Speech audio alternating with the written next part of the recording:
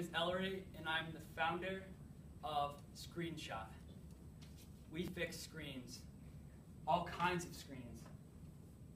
The Problem that I saw was my family has AT&T stores in Connecticut and Rhode Island, and when a customer would come in, the demographics, 80% of the college students who wanted their screen fixed, they couldn't afford a new, a new phone or mobile device.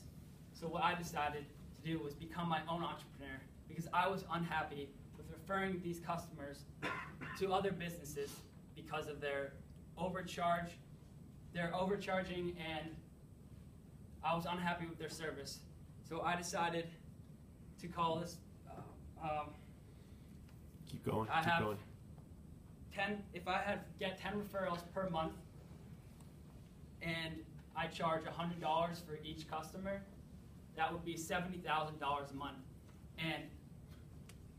12 months i could receive over $700000 and this is absolutely in the realm of possibility. In the next 30 days i'm actually opening a store in old saybrook next to starbucks.